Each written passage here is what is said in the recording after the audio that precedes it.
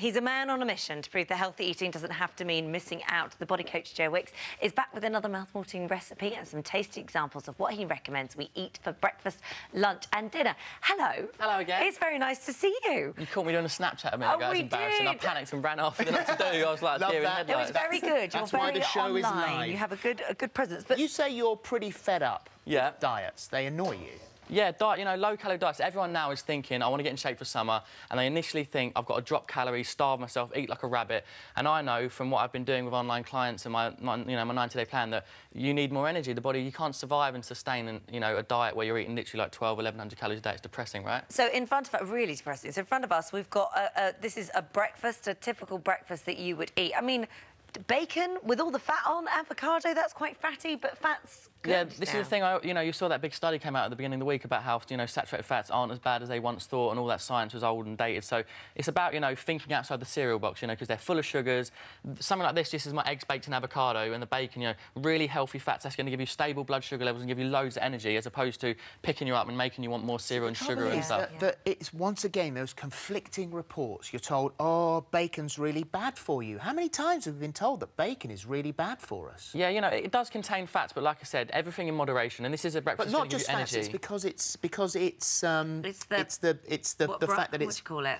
It's Can't been remember. like pro, well, pro, yeah, you know, Processing. You know, you can the get good quality bacon though. You know, I'm, I'm, this isn't something I eat every single day, but it's you know a really nice treat and it's going to give you loads of energy. So yeah, don't don't be don't be fearing the fats. Basically, they're good And for this you, looks right? yummy. And again, yeah, this is a really healthy salad. So it's chicken, bacon, avocado, walnuts. It looks low calorie, but there's loads of calories in that. So you're not going to be hungry like an hour later, you know. And, and anything like when you get snacks as well, like have some cashew nuts, things like that.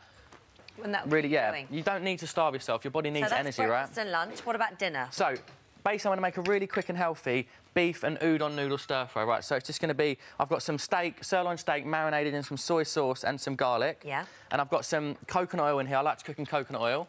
Yeah. You might have seen that in my Instagram videos. And um, I've got some red onions in there, so literally get it nice and hot. You're just going to stir fry the, the beef Yeah. for a couple of minutes.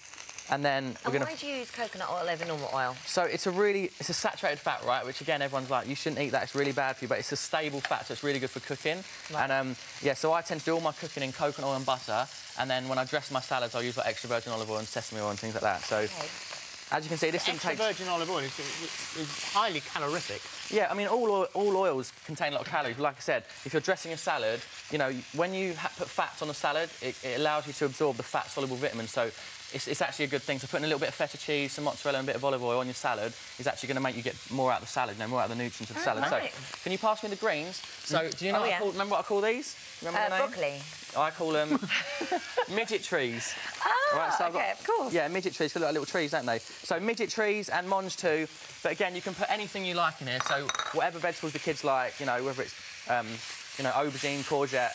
And it's all about speed, right? So lean in 15, you know, my Instagram's gone Yeah. crazy because it's literally 15-minute meals, really quick and easy. And Really quick so and many people... And, and also, you have a thing about that is the time of day that you eat. So, and you can eat different things at different times. Yeah, so the books, the books and my whole philosophy is about macronutrient time. Okay, so eating your fats, protein, and carbs at the right time, so your body actually metabolises it and uses it as energy, as opposed to storing it all. And um, I basically live my life on, on a kind of way that I have two reduced carbohydrate meals, so higher in fats and protein. Yeah. And I'll do my little workout, like a 20-minute HIIT session, and then have a post-workout meal with carbs and protein, something like afterwards. this. Yeah, so keep your afterwards. carbs for Wow, after your never done that before. Look at you, like a proper Like chef. a, I'm somehow becoming a chef. So the last little thing you got to add is a little bit of soy sauce, and then a tiny bit of um, toasted sesame oil just to give it a little bit of flavour. And um, yeah, that's it. So is this something you'd eat? Do you think? I know, yeah, I do. And those noodles always slightly freak me out because they're a bit wormy. Yeah, these are the udon noodles, but you can literally they're, they're straight to wok. So any any type of noodle you like. You Yeah. can even you could even put rice in this. You know, a bit like one microwave rice, throw it in. Just and, um, change it up a bit. And presumably any meat as well. Or if you're vegetarian, you could use tofu or something. yeah, you could do chicken, any- prawns, tofu. Yeah. Um, this is obviously a bit of beef, and I reckon we're good to go. What do you think of that? All right. And Yeah, amazing. get it on And there. super fast. Not even 15 minutes, that one. Oh, I've got it on almost. There you go. So should we try it As long out? as it tastes mm. good. Right, so yeah, that's it. I mean, it's lean in 15, beef and udon noodle stir fry. And, the- and the whole, to be honest, the kids will love that too because there's no spice in that. It's not really chili, you know, it's not a spicy one. Oops. But you can add what you want I'm to going to try it. these noodles. Mm. Is that a bit of you? Yummy. That's really lovely. Does it frustrate you that mm-hmm. the information mm-hmm. that we as consumers are given constantly changes? Because I think now there's a lot of people being in agreement that one day you're supposed to eat something, the next day you're not. Yeah, it's really challenging. Everything's so contradictory. You know, we're told that we've got to cut fats, cut carbs, really low calorie, and it, I just know I'm working with so many clients that it doesn't work, you know, and you can eat fat, you can eat carbs at the right time, and that's what the whole lean in 15 kind of concept will teach you, yeah. So mm. you've really got to enjoy your food, right? And, I was about talking food. about earlier on with Dr. Zoe that we were we were discussing how actually how people now uploading images on, on themselves, such as on Instagram or on Twitter, and following their progress with exercise and diet is actually kind of making them continue with it. Yeah, I say, I say, uh, my, my thing is throw away the sad step, right? I, I call the scales the sad step. Oh, the sad step. It's yeah. sad, isn't it? You stand on it, it's depressing. It's never fat loss isn't ever linear. So I say take progress pictures every month and see real change in your body, and that's what really. That's is that how often you do it? Once a month? I think once a month you can see real visual changes. Yeah, like you don't want to do it every week, but once a month you're going to actually see your body shape change, and that's the important thing. You don't want to just obsess over the. It's like counting calories. Stop doing it, and standing on the sad step. If you do those two things, life will be a lot easier. You'll be a lot happier.